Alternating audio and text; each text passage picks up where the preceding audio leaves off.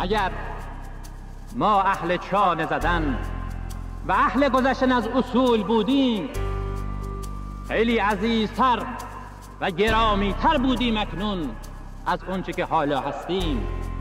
ما اگر اهل جاه طلبی بودیم درها به روی ما بسته نبود. ما اگر اهل جاه طلبی بودیم اکنون این همه منافق نصار ما نمی‌شد.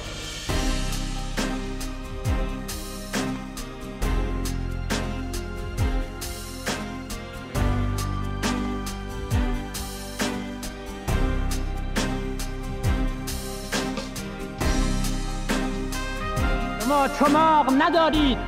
شما چاقون نمی‌کشید. شیوه های محرف مال مرتجعین است.